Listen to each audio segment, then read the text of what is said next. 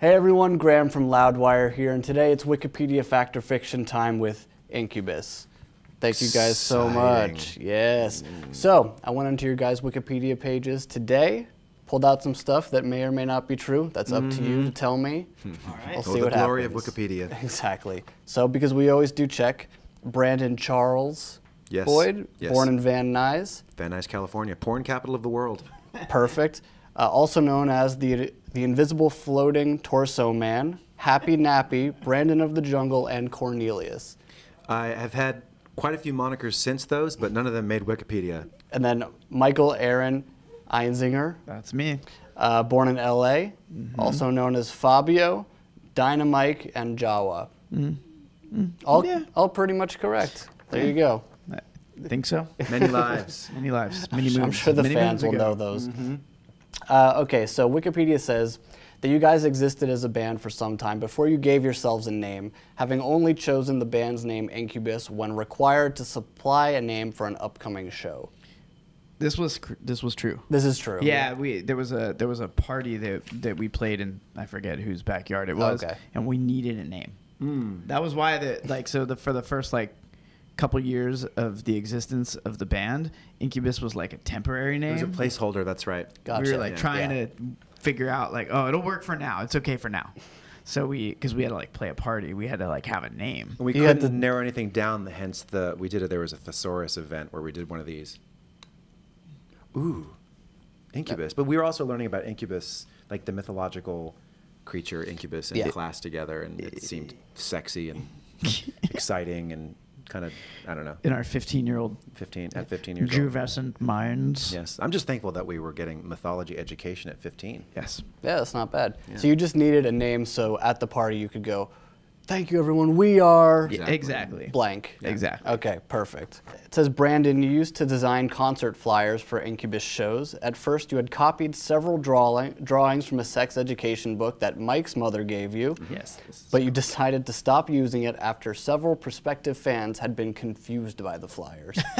That is 100% true. The only um, addition to that fact will be that Jose and I both, Jose Pasillas, Mm-hmm. uh, the second, and I would design most of the flyers together, or Okay. he would do one, then I would do one. But we uh, had a lot of fun photocopying imagery out of The Joy of Sex. oh, okay. And then maybe That there was was an the book. That was illustrated the book. Maybe there was, was an The Joy of yeah, Kama Sutra. joy of, the joy of sex There's these beautiful uh, illustration. illustrations Yeah, from the probably the late 70s, early 80s. I don't know Your parents gave you like a sex manual. No, I my, got my, nothing. My, my mom like had like somehow like left that for me in my room. I must have been about 14 or 15. Lots of and it was, chocolates. like, it was like, hey guys, check this out. oh, of course. Yeah. Dude. So yeah, we would uh, find pictures that we liked, and then we would like draw on top of them with like bubbles and things, and just kind of cool, sexy, esoteric-looking sex positions, and then write incubus over the top of Yeah, it. so just enough so no one knew what the hell it was. But they'd want to Well, come check it But they were interested. They weren't. uh, There's a, a slight alteration to that. They Okay. weren't. People weren't confused by it. What started happening was They were that disappointed when they got to the show.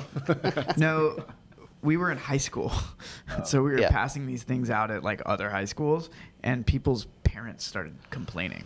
oh my god, that's mm, right. So like we, you know, we had I think it was like my number and your number. There were like our oh. house numbers were like on these flyers that we were handing out, and you know they were very graphic drawings, But beautiful. beautifully graphic. So we would get these like voice messages from like angry parents that like their children had brought these Oh. flyers home, and we we just thought it was hilarious. Mike, it says you can play the Pippa, The Pippa, and your Pippa was given to you by Steve Vai. correct. That's correct. The Pipa. The a Pipa. I'm sorry. It's a Chinese lute. Gotcha. Four string Chinese lute that, um, yeah, we used to create the song Aqueous Transmission. And yes, it was given to me by Steve Vai. I noticed it sitting like in a corner in his house and I asked him about it. I said, What is that? And he told me that it was given to him as a gift um, when he was on tour in Asia at some point. And um, we kind of like moved on from that to like something else in our discussion. And then right before I left that day, he was like, "Hey, take this," and I was like, "Well." I can't take that from you. He was like, no, no, no, take it. He was like, just promise me that you'll write something cool with it. Mm. And so I took it and brought it back to. We were living in the Morning View house, recording Morning View at the time, and I brought it back and kind of straight away like pulled it out of its sheath, and um, we wrote Aqueous Transmission like right away. Remember you and I, we kind of pulled an all, all-nighter that Mhm. night. It was fun. Yeah. Yeah, that was a good times. All right, so you were regifted by Steve Vai. Actually, I have a funny story about that because Please. because many many years later, um, Steve and I were emailing each other, and he was telling me that aqueous aqueous transmission um, was like on repeat in his house, and he didn't realize that I had written that song on his instrument. He didn't Yeah. know that. So when I told him, he thought that was pretty funny. It says that uh, with Make Yourself, after just two weeks in the studio with the producer, the band was unhappy with the recordings, and you opted to continue recording without any producer at all.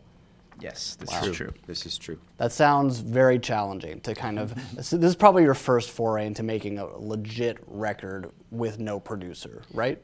we we in all honesty like we really were self-produced and you know kind of always have been not to Mm. downplay like the role of anybody that we've worked with Sure. but um, you know we've always really had a strong sense for what we were doing anyway and um, in i think in the case of make yourself um, it was actually kind of a relief to us at, Mm. at that point like just for whatever reason in the studio we were kind of we were happy with what was happening but it, we knew that we, we i think we felt a little bit encumbered by certain things and when we went on our own it was like it felt liberating to be able to do that Yeah. and and also at the same time our label um, uh, which was Epic Records. Um, they, I remember because they were spending a lot of money for us to be in the studio, and Yeah. they had to make a decision whether or not they were going to like allow us to keep going Okay. with no sort of adult supervision.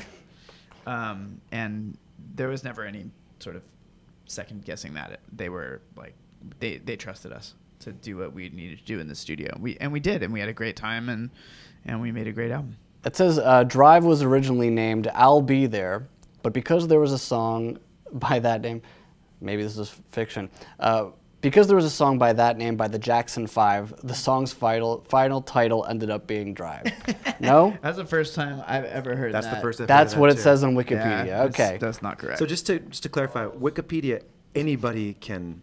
Update, Anyone. could update Wikipedia. Anyone. I'm so going on there later, and I'm going to tell some tales. It says that Megalomaniac was banned from daytime viewing on MTV because many listeners misinterpret it to be about then President George W. Bush. However, the band was actually pleased with this viewing restriction.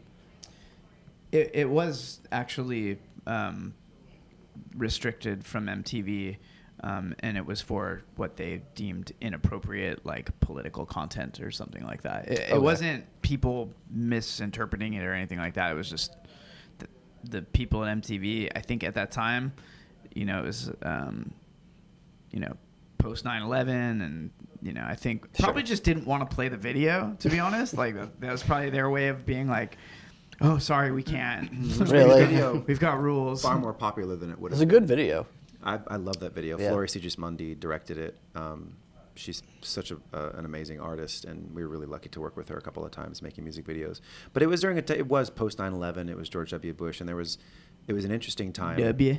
in America in that um, any dissent from popular political opinion was really almost dangerous. Mm. You know, um, Unpatriotic. it was considered, considered unpatriotic to not agree with the commander in chief at such a sensitive time in our country. But um, there were huge swaths of, of Americans who thought that what we were doing in response was very strange, and Mm. maybe there were some ulterior motives in there. And so, you know, it turns out that it was true. there were some deep, dark, dark ulterior motives involved, and um, yeah. But who would have thought that we'd end up where we are now? So it's strange because Megalomaniac is, in a way, kind of weirdly like prophetic.